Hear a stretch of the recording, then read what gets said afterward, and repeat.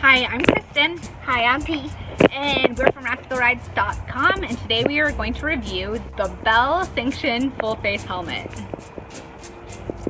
There are very few full face helmets that fit young kids well. And yet, we know plenty of preschoolers and young elementary kids that need a full face helmet. Fortunately, there's the Bell Sanction. This lightweight, full face bike helmet comes in small sizes and has a smaller profile that fits younger riders well. It does not have the ASTM downhill mountain bike certification, so this isn't the helmet to buy if your kiddo is going huge, but for crash prone balance bikers and even for slightly older kids looking for a little extra protection on technical trails and jumping at the skills park, this is an ideal helmet. We've had our Bell Sanction for a couple years, and while it's ready to be retired, it has served our son well. He's used it at the skills park, racing BMX, and even on some mellower lift served downhill days. Compared to a traditional half-shell helmet, the Bell Sanction offers a lot more protection to both your child's head and their face. We've had enough bloody mouth crashes in a regular helmet that I now always make my son wear his full face if he's riding trails he's more likely to face plant on. That said, the helmet is both hotter and heavier than a traditional helmet, so only choose the Bell Sanction for race days, technical trails, or the skills park.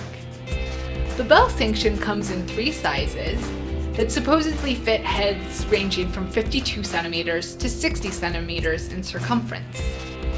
That said, it seems to run a little small. I'd recommend adding about 2 centimeters to your child's actual head circumference to get the right fit. At 850 grams, the Bell Sanction is significantly lighter than most full-face helmets. This makes it ideal for younger kids who still have weak necks.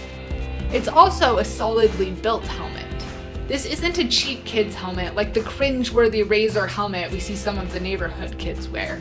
Still, it's not quite as high-end as other full-face helmets.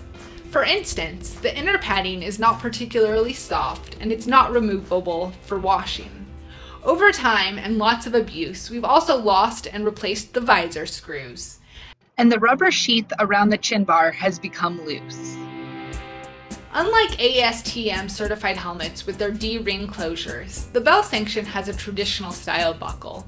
This makes it less secure, but also easier for young kids to buckle and unbuckle on their own, which is nice. For even more full-face helmet options, visit our guide to kids' full-face helmets on our website, rascalrides.com. If you like this video, make sure to like, subscribe, ring the bell.